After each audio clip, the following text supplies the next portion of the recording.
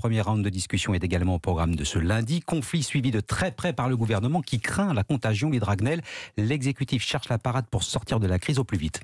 Eh bien, justement, le problème, comme le reconnaît en privé ce conseiller de l'exécutif, c'est qu'il n'y a pas de stratégie. Au gouvernement, on considère que s'il y a ces pénuries de carburant, c'est de la faute de Total et des difficultés des relations sociales internes à l'entreprise.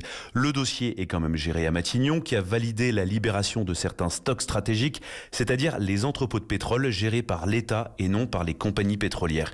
Elisabeth Borne se veut optimiste. Depuis l'Algérie où elle était en déplacement, l'hôte de Matignon a promis hier une sortie de crise et une amélioration de la situation pendant la semaine.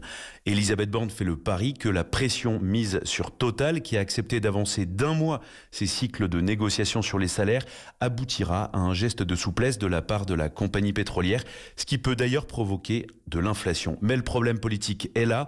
Une station-service sur trois en France est à sec. On monte même à 55% dans les Hauts-de-France avec une opinion publique qui a du mal à comprendre comment on en est arrivé là, d'autant que cette crise n'a aucun lien avec la guerre en Ukraine.